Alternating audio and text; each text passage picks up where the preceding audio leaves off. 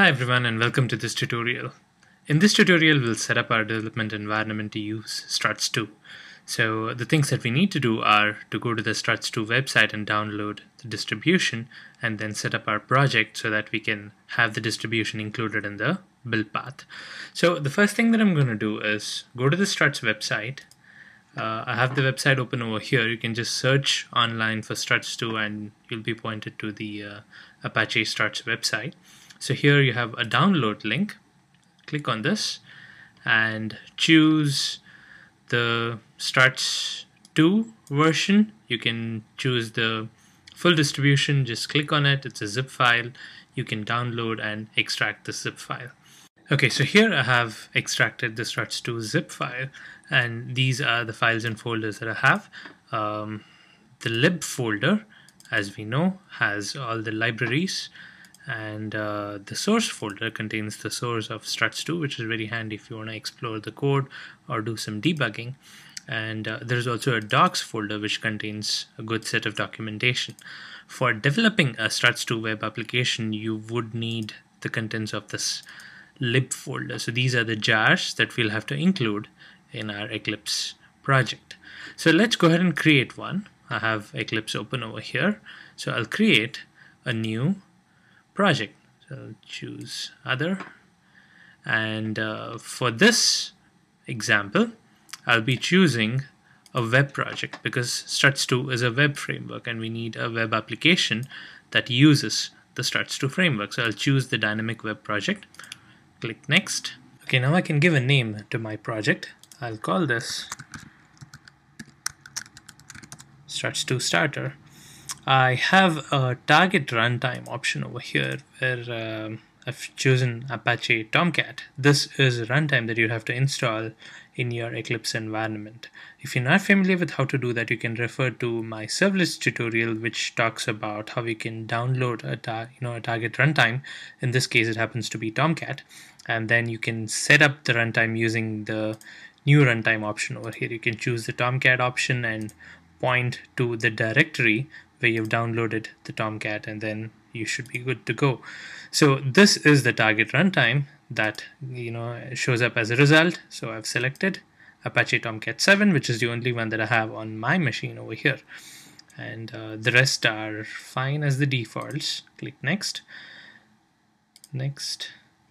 Okay, now here it talks about the web module configuration. What is the context root that you want and what is the content directory that you want. Again, if you go through my servlets tutorial, you should have a good idea about what these are. So I will choose web as the content directory, context root struts2 starters, fine. I'll choose the option to generate the web.xml and I'll click finish. Now Eclipse is going to generate this web application for me with all these options. And since we have you know configured a runtime which is tomcat. I can once i have uh, done the coding i can right click on the project and say run. And then it's automatically going to take care of deploying it in tomcat and then starting the application. Okay so here is my new web application struts2 starter. Let's open it up and see what it contains. So it has a web directory and a src directory. The web directory contains all the web content and it has one important directory called webinf which contains the web.xml as well as the libraries. And the source directory will be where we keep our Java classes. Now, the library folder is empty right now, but we need to add the struts to jars over here so that they are accessible eh, to our code which uses the struts framework. So what we're going to do is we're going to create our own user library which uses some of the common struts2 jars that we would need and then we'll make sure that user library is getting added to this lib folder. So what I'll do is right click on the project, go to properties and here I go to the Java build path. Now in the Java build path I click on libraries and choose add library. Now here there is an option to add user library. I click next. Of course there are no user libraries right now because I have not configured a user library for struts2 so I'm going to do that now. So this is the panel where I manage all my user libraries. I'll create a new one. I'll call it struts2. click on OK. Now I can add all the jars that I need to this user library. So I'll click on add jars and I navigate to the directory where we just downloaded and extracted the struts2 zip file and to the lib folder inside. So these are all the jars that are required for struts2. Uh, I could do a select all and add all of them, but not all of them are required at this point of time. So let's just choose the ones that are essential to what we're trying to do now. So the first jar that I'm going to add is the struts2 core. So this is the one. So this is the core jar that's required for the struts 2 functionality. So this is the one that I'm going to add first.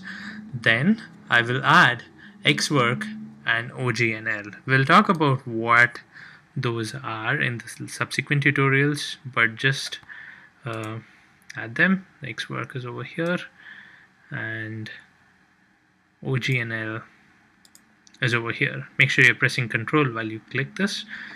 Um, next, I'm going to add the commons.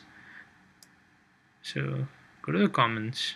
So here you have a few commons jars. So I'm going to add file upload, commons IO, logging, logging API, and this should do it. And then finally, I'm going to add two other jars, which is FreeMarker and Javassist, which is over here. I'm going to open. Now there is one more commons jar that I need to add over here, which is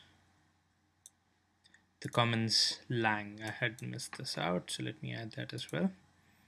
So these are the jars that are required. I'll minimize all these and uh, expand this so that you can probably pause the video and uh, verify if you have all these jars.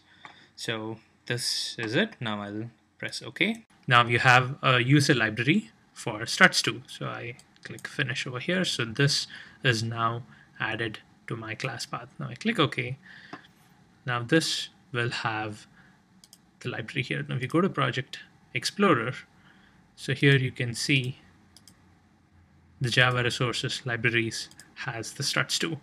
But here's an additional step that you'll have to do because this is a web application. Not only do we need to have this library in the class path, we would also need to tell Eclipse to bundle this into our webinf lib because in the deployed application in Tomcat, this library has to go sit over here. So this lib folder needs to contain all the jars that we've added in the struts2 library. So how do we tell Eclipse to take that library and add it to this lib folder when it's deploying the application? So how we do that is, again, right click on the project and go to this option here called deployment assembly. So this gives instructions to Eclipse about how it needs to assemble all the different files when it is actually deploying it. So I will add a new rule over here. So I will say Java build path entries, which is struts2, needs to go to webinf lib. So now what's going to happen is Eclipse, when it deploys the struts application after it compiles it, it takes this and puts it into the webinf lib folder so that it's ready for Tomcat to use. So I'll click apply and hit OK. So now we are all set with a web application, a blank web application that uses the struts2 libraries, and we can now start writing code that uses the struts2 framework, which we'll do in the next tutorial. Thanks for watching.